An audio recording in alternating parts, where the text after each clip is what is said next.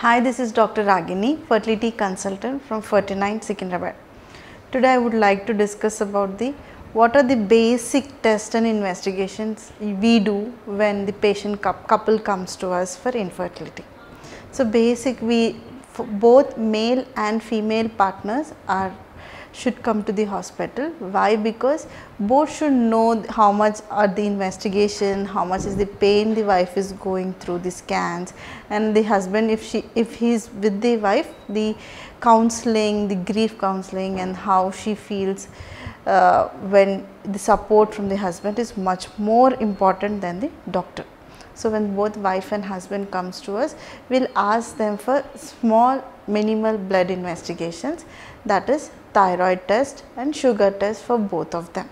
And later basic scan for the wife and basic semen analysis for the husband.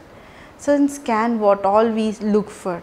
In scan we look for the uterus, how is the uterus, is there any anomalies in the uterus? Like some will have two uterus, some will have a single uterus with a septum and how is the status of the ovaries, how is the ovaries, is there any cyst in the ovary, if there is cyst what type of cyst, is it a simple cyst or is there is a something called as chocolate cyst, we look for that. And more so in the ovary we also look for the how is the reserve within the ovary. Is it a normal reserve or a low reserve or a high reserve like in PCOS. So, all this we get to know with a small basic scan to the wife. Semen analysis usually is done with 3 to 5 days of abstinence. In that period when this husband comes and gives the semen, we will check for the basic total how much is the count in the of sperms, how is the motility of the sperms and how is the progressive motility and also how what are the normal forms, percentages of the normal forms. Based on this minimal investigations, we can come to a diagnosis that how, how better way to give them the management and also once the bleeding is stopped we will also do for a tubal patency test with SIS. We usually follow SIS in our center that is saline infusion sonography. In this uh, what we do once the bleeding is stopped, uh, we call the patient and um, small catheter is inserted from below from the cervix into the uterus and uh, with scan guidance we push the saline. We push the saline and see with the vaginal scan how is the tubes if the spill is there or if there is a delay spill or there is no spill. Based on this we can know the tubal status. So, we will know the uterine status, we will know the tubal status and we will know the ovarian status as a whole to the female. Once we see if all are normal, the reserve is normal, the tubes are normal, the cavity is normal. Also we have an advanced thing called as 3D scanning. 3D scanning is nothing but how is the uterus as a whole like how is the cavity, how much is the volume of the cavity, how is the outer borders of the outer surface of the uterus, is there any fibroid, is there an adenomyosis? Or is there any polyps, all that we can make out with the 3D scan. So, with this small scanning and tubal test and semen analysis, now we go to the next step what is the best method of managing to them. Whether they can go with a small management like timed intercourse or should they go with an IUI method or should they go with the IVF method.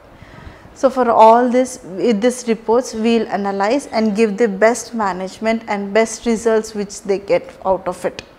Okay. And how much time, I mean how many cycles can a person undergo IUI? At least as a latest guidelines and evidence says that 3 cycles, 3 cycles should give us a better cumulative pregnancy outcome is better, not more than 3 cycles does not give much of a, a success after 3 cycles. Next is what I call is what is actually IUI. IUI is intrauterine insemination. In this we do when there is something called as for this mandatory thing is the tube should be patent and the semen count should be at least about 8 to 10 million. And the in these conditions we uh, do a scan on day 2 get these uh, follicles ready by day 10 day 12 and once the follicles is ready and the endometrium is ready we will trigger the trigger her with an injection okay?